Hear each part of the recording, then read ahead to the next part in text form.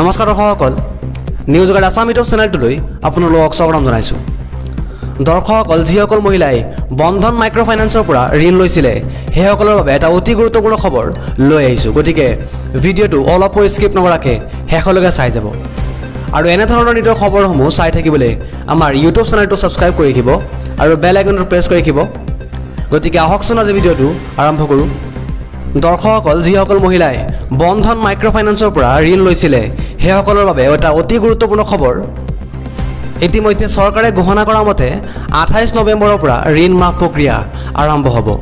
চৰকাৰে কোনসকল মহিলাৰ ঋণ মাফ নকৰে তাৰ বিষয়ে সবিহে জনাম এই ভিডিঅ'ৰ জৰিয়তে। গতিকে ভিডিঅ'টো অলপো স্কিপ নকৰাকৈ শেষলৈকে চাই যাব। দুহেজাৰ বিছ চনৰ একত্ৰিছ ডিচেম্বৰৰ পাছত ঋণ লোৱা মহিলাসকলে নাপাব এই সুবিধা। অৰ্থাৎ যিসকল মহিলাই দুহেজাৰ বিছ চনৰ একত্ৰিছ ডিচেম্বৰৰ পাছত ঋণ লৈছিলে সেইসকলৰ ঋণ মাফ নকৰিব অসম চৰকাৰে। যিসকল মহিলাই দুহেজাৰ বিছ চনৰ একত্ৰিছ ডিচেম্বৰৰ আগত এন পি এ অৰ্থাৎ নব্বৈ দিনতকৈ অধিক দিন ঋণৰ কিস্তি আদায় কৰি অহা নাই সেইসকল বঞ্চিত হ'ব এই সুবিধাৰ পৰা। অৰ্থাৎ সেইসকলৰ ঋণ মাফ নকৰে চৰকাৰে।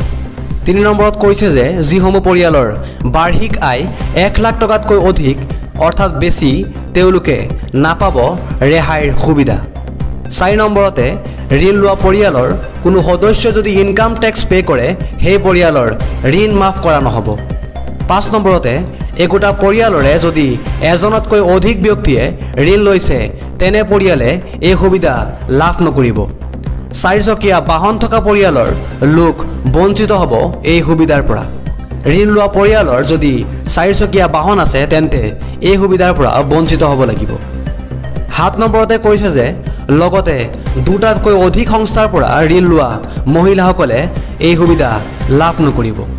অৰ্থাৎ আপুনি যদি দুটাতকৈ অধিক সংস্থাৰ পৰা ঋণ লৈছিলে তেন্তে আপোনাৰ ঋণৰ কিস্তি মাফ কৰা নহ'ব। ইয়াৰ উপৰিও কোৱা হয় যে যিসকলে পূৰ্বতে ঋণ পৰিশোধ কৰিছিল তেওঁলোকক বিশেষ অগ্ৰাধিকাৰ দিয়া হ'ব।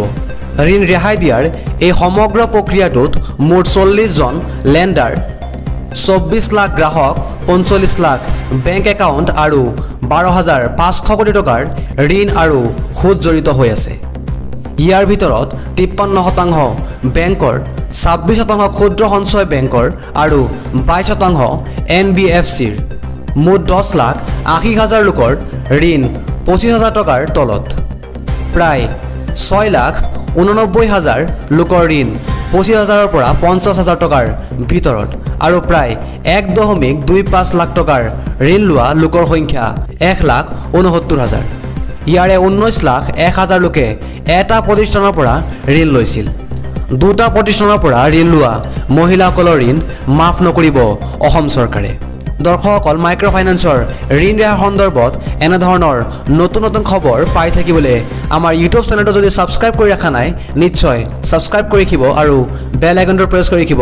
তেতিয়াহ'লে নমস্কাৰ।